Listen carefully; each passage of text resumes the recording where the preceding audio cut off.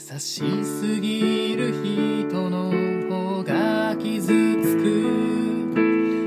一体何なのだろう。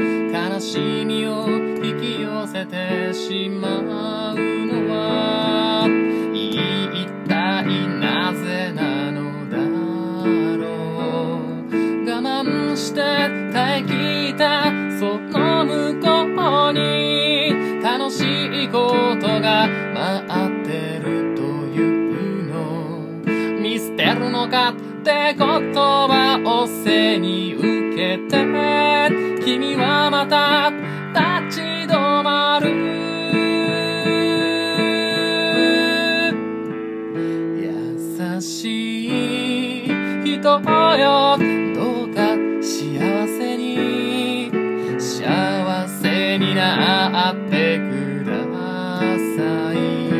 全てを置き去りにしてもいい。